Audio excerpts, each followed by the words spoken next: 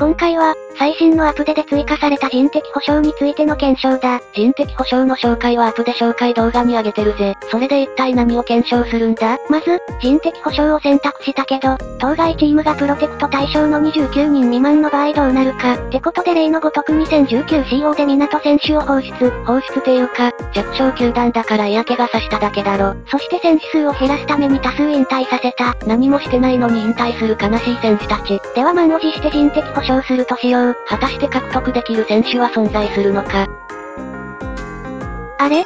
そもそもリストが表示されない。29人未満とはいえ GI には選手がそれなりに入るはずなんだが。ということで、取れる人がいない場合はそもそもリストが表示されないらしい。ちなみにこの状況、罪なんじゃ？いや、戻るを押せば戻れるので金銭保証を選択することができる。まあ、金銭保証オンリーは実質罪だよな。次に、FA の一貫ヘルプを見てたら、移籍選手の年俸が勝手に決められるとのことだったのでどう変動するのか見ていこう。だけど、なぜかうまく録画されてなかったので結論だけ上に示すことにする。結論として、年俸は前球団のものを継承する形となった。契約年数だけ減らされたという形だな。ってことは、この年俸の変動は契約が切れている必要があるのか。何回かやったけど契約切れ選手はいなかった。ということで、人的保障で獲得した選手の年俸と契約年数は前球団のものに依存するという結果で良さそうだな。もしこういう条件の時に年俸が変動するなどあれば教えてほしいぜ。それでは本日はここまで、ご視聴ありがとうございました。